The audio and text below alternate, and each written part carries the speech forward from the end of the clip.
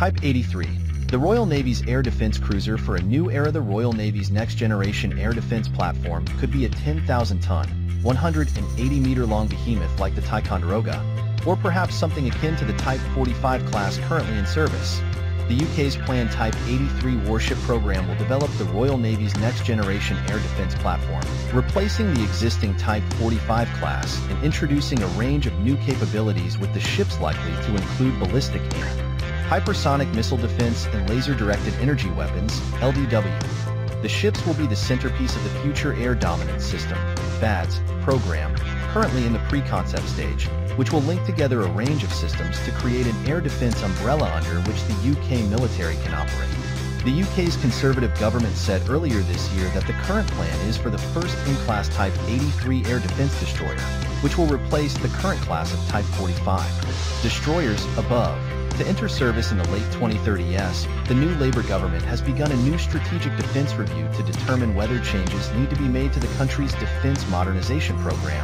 but it is unlikely to derail the Type 83 program. How many Type 83s will there be? For decades, the UK has been replacing more and more platforms with fewer, more sophisticated systems, gold plating process that theoretically provides extraordinary capability, but little depth.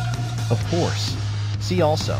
Maritime AMP, Enterprise Cybersecurity Solutions for the Naval Defense Industry Maritime and Enterprise IoT Solutions for the Naval Industry, the UK's defense in a competitive era document, published in March 2021,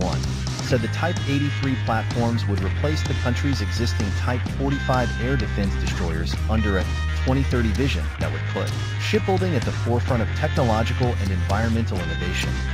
With the UK Ministry of Defence, MOD, or Defence in the document, committed to playing a leading role across government in supporting the country's shipbuilding sector plans, programs such as the nascent Type 83 will be crucial.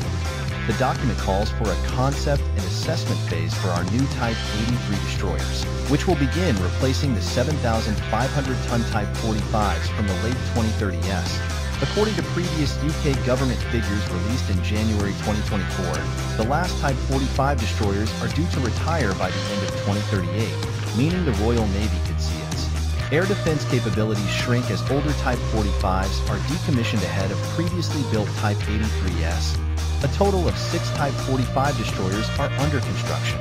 but this is itself down from the 12 originally planned, with the class replacing the Falklands War Era Type 42 destroyers above which numbered 14 holes at full strength.